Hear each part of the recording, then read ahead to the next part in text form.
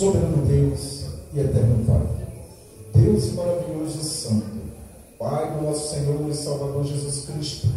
Aqui neste momento, Senhor Pai, estamos apresentando a tua filha, Senhor, na qual, Senhor Pai, irás usar grandemente nesta noite, trazer uma palavra aos nossos corações. Deus amado, use a tua filha, Senhor Pai, assim como tu tens usado, ou melhor, Senhor, como nunca usou nesta vida, Senhor, para que ela venha, Senhor Pai, trazer mensagem, Senhor Pai, de edificação para as nossas almas. Senhor Deus, use-a conforme a tua vontade, nós pedimos e por fé te agradecemos no nome de Jesus. Amém. Aleluia, louvado seja o nome do Senhor. Quero cumprimentar a igreja de Deus com a paz do Senhor, amém? Amém? Glória a Deus. Quem vem adorar o nome do Senhor Jesus? Quem vem oferecer a Deus o seu melhor nesta noite? Culto de adoração. Amém? Adoramos com a alma, com o espírito e em verdade. Porque Ele merece toda a honra e toda a glória nos céus e na terra. Louvado seja o nome do Senhor. Quero agradecer primeiramente a Deus por ter nos trago até aqui. Quero pedir desculpa ao irmão Edilson, nós chegamos atrasados por conta da chuva, nos cercou, mas aqui estamos para a glória do nosso Senhor e Salvador Jesus Cristo. E toda honra e toda glória seja dada a Ele nesta noite. Amém? Louvado seja o nome do Senhor. Se você veio adorar, está livre para adorar ao Senhor. Se você veio exaltar, está na presença dEle. Se você veio render a Ele o louvor e a adoração que Ele merece, você também já está na presença dEle. Amém? Feliz por estar na casa do Senhor mais uma vez, para junto adorarmos e exaltarmos o nome do Senhor. Louvado seja o nome do Senhor Jesus nesta noite. Os irmãos que quiserem acompanhar a leitura, se encontra no livro de Apocalipse, capítulo de número 3. Louvado seja o nome do Senhor verso de número 2, 3 e verso de número 6.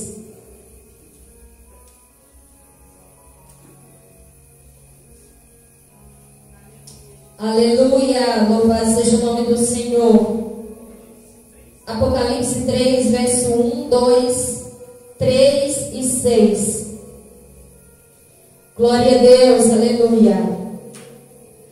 Que o Espírito Santo de Deus possa falar aos nossos corações nesta noite. Aleluia. Louvado seja o nome do Senhor. A palavra do Senhor diz assim: E ao anjo da igreja que está em Sardes, escreve: Isto diz o que tem os sete Espíritos de Deus e as sete estrelas. Ele diz assim: Eu sei as tuas obras que, tem, que tens nome de que vives e estás morto. Verso 2: Ser vigilante e confirma o restante que estava para morrer, porque não, porque não achei as tuas obras perfeitas diante de Deus. Verso 3: Lembra-te, pois, do que tens recebido e ouvido e guarda-o e arrepende-te.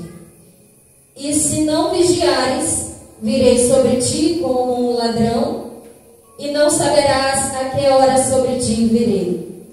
Verso 3: Quem tem ouvidos, ouça o que o Espírito diz às igrejas. Louvado seja o nome do Senhor e Salvador Jesus Cristo nesta noite.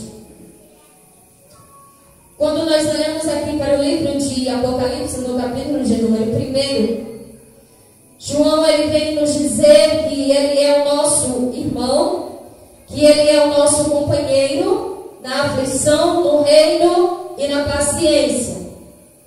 Nós sabemos que a história de João, aleluia, louvado seja o nome do Senhor, ele foi jogado na ilha de Patmos, uma das, das ilhas mais perigosas que existia naquela época. E ele foi lançado lá por causa do testemunho de Jesus e por causa da palavra de Deus. Aleluia. Aí ele diz assim: que ele estava na ilha de Patmos por causa da palavra de Deus e pelo testemunho de Jesus Cristo. Aí começa a dizer que quando ele chegou lá nessa ilha de Patmos, João ele foi arrebatado em espírito no dia do Senhor. Quando ele chegou lá, que ele foi arrebatado em espírito, ele disse que ele estava lá e ele ouviu detrás dele uma voz como de trombeta. Louvado seja o nome do Senhor. E essa voz dizia para ele: O que vês, escreve num livro e envia às sete igrejas da Ásia. A igreja de Sardes, a igreja de Pérgamo, eu não vou falar na ordem, mas os irmãos conhecem o nome das sete igrejas da Ásia. E essa voz dizia para ele: O que tu vês, escreve no livro e envia a essas sete igrejas. E João diz que ele virou para ver quem falava com ele, porque aquela voz que estava de trás dele parecia como um som de uma trombeta. Aí ele virou para ver quem falava com ele. E quando ele virou, ele viu sete castiçais de ouro. E no meio daqueles sete castiçais de ouro, ele revela que ele viu um semelhante ao filho do homem. Louvado seja o nome do Senhor. Aí ele começa a descrever as características daquele homem. Aleluia. Louvado seja o nome do Senhor. Ele diz assim que aquele homem que ele viu estava vestido até os pés com uma veste comprida. E sobre o seu peito estava ouro. Louvado seja o nome do Senhor.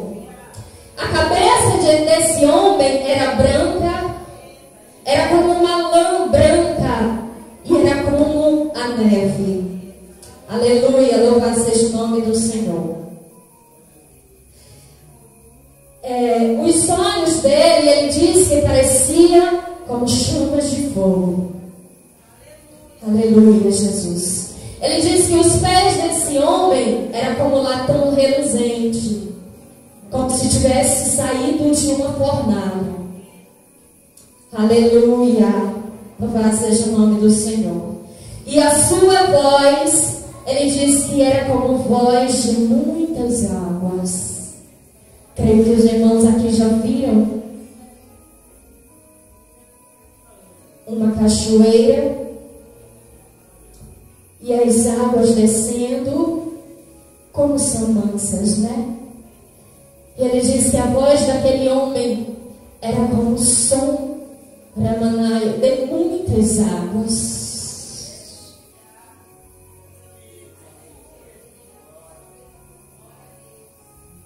Como voz de muitas águas. Ele diz que ele tinha na sua destra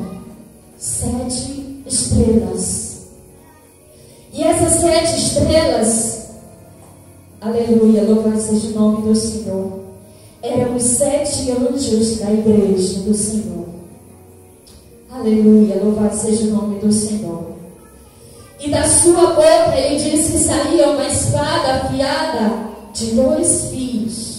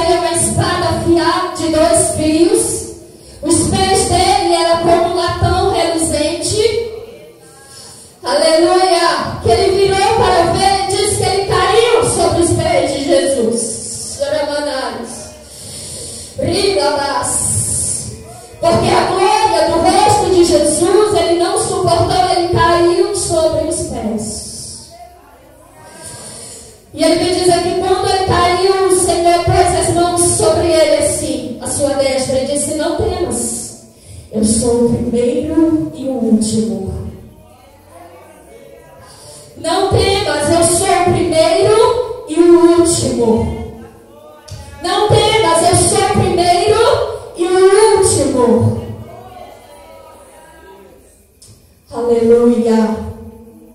Ele disse que ele caiu aos pés dele como se ele estivesse morto, desfalecido diante da glória de Deus. Ele caiu sobre os pés de Jesus e ele pôs a sua, a sua destra sobre ele e disse: Não temas, porque eu sou o primeiro e o último. Agora escreve tudo que vês,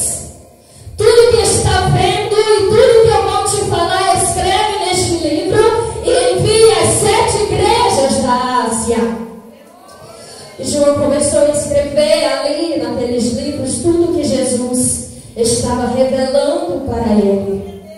E ele escreveu tudo que o Senhor revelou para ele, ele escreveu. Mas o processo para João chegar até ali não foi fácil.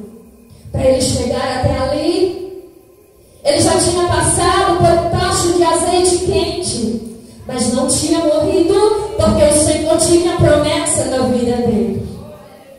Ele tinha promessa de receber algo maior que hoje iria servir tanto para a tua vida como para a minha vida, que se encontra aqui neste livro sagrado, que é a palavra do Senhor. Então ele foi jogado naquela ilha, tipo muitas feras. E talvez os seus inimigos disseram: agora eu acabei com ele. Acabamos com esse evangelho. Agora nós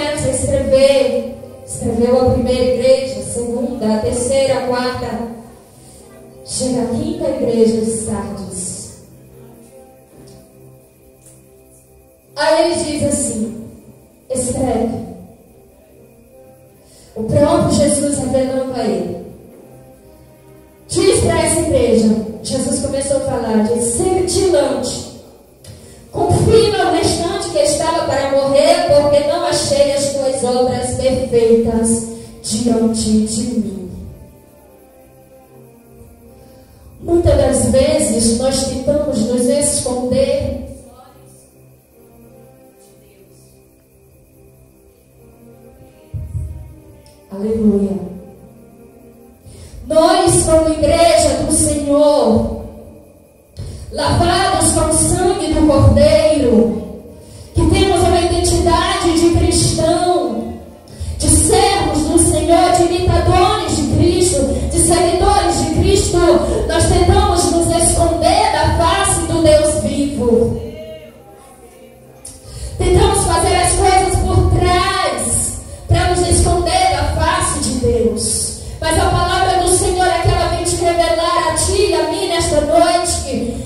Dos olhos do Senhor, dos olhos do Senhor, nada fica escondido diante dos olhos de Deus.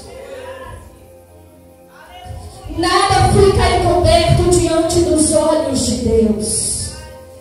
Porque assim como o Senhor revelou as obras desta igreja de Sardes, assim mesmo Ele pode revelar as obras da tua e da minha vida como igreja dele. Não podemos nos esconder dos olhos do Senhor, porque os olhos dele estão sobre toda a terra. O Senhor, ele vê tudo. Talvez aquela igreja pensava que estava vivendo de forma correta diante dos olhos de Deus. Talvez ela pensava que estava agradando ao Senhor com a sua maneira de prosseguir dos caminhos do Senhor. Mas o Senhor levou João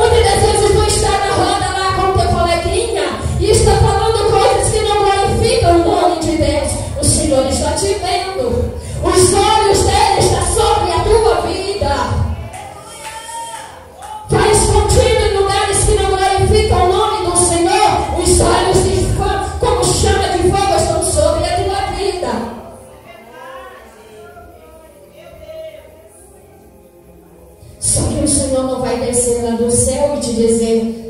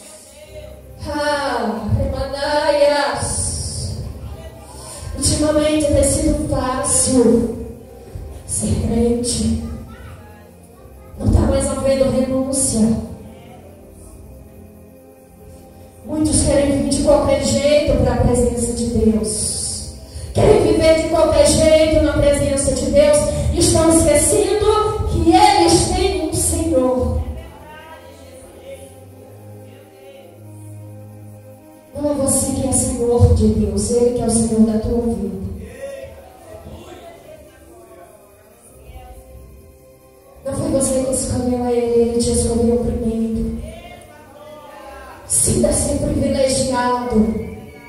Sinta-se privilegiado por servir esse Deus. Sinta-se privilegiado por fazer parte do reino de Deus. Muitos e muitos estão por aí e ainda não tiveram esse privilégio de estar na presença de Deus, adorando a Ele em espírito e verdade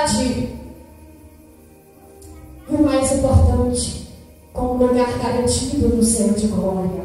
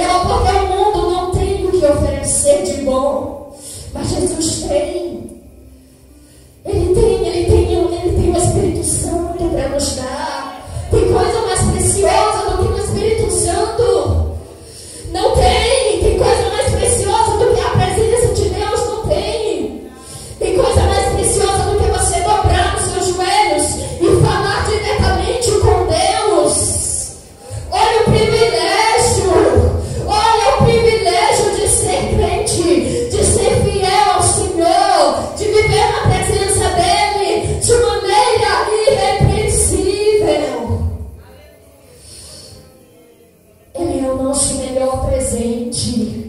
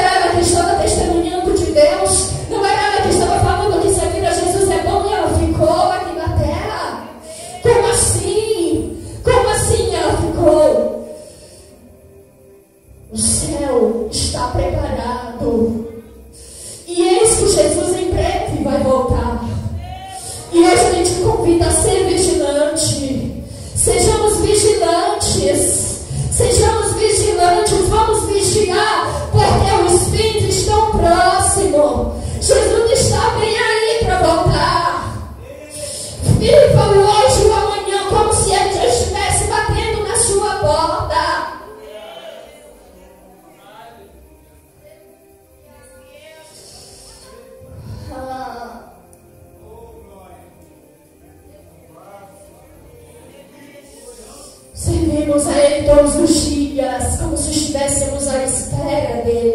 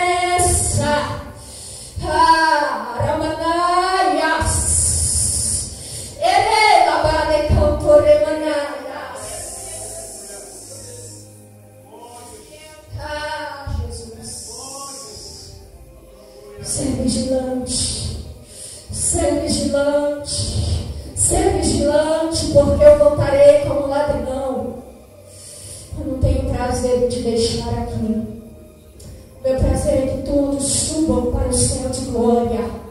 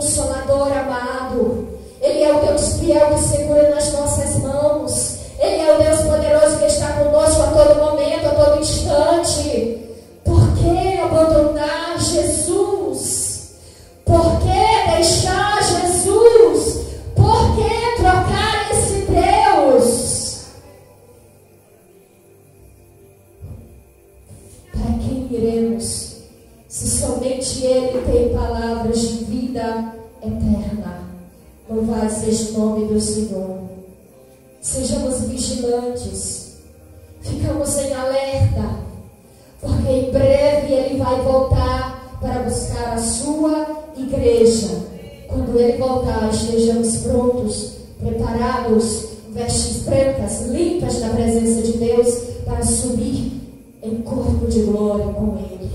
Louvado seja o nome do Senhor. Muitos crentes já esqueceram dessa promessa. Muitos crentes já se esqueceram dessa promessa.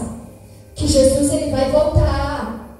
Estão vivendo por aí desapercebidos. Achando que Jesus não vai mais voltar achando que ele não vem, mas nós estamos aí contemplando as coisas que estão acontecendo, tudo está apontando para a volta de Jesus. Tudo aponta para a volta dele. Parece que a igreja está esquecida do céu de glória. Parece que não se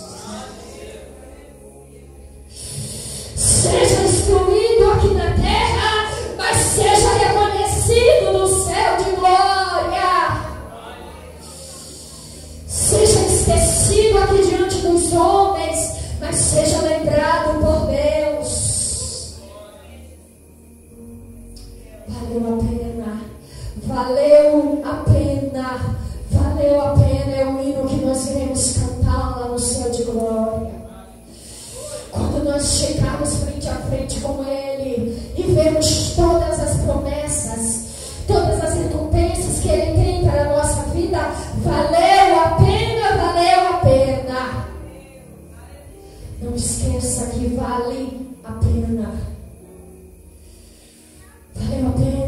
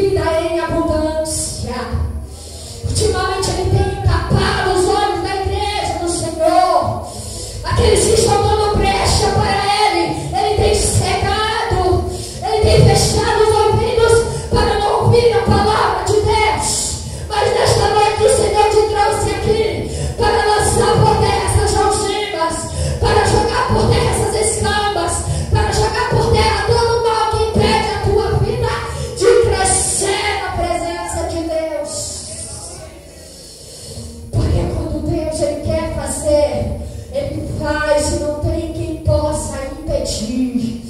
Seja liberto pelo poder do Espírito Santo, Jesus.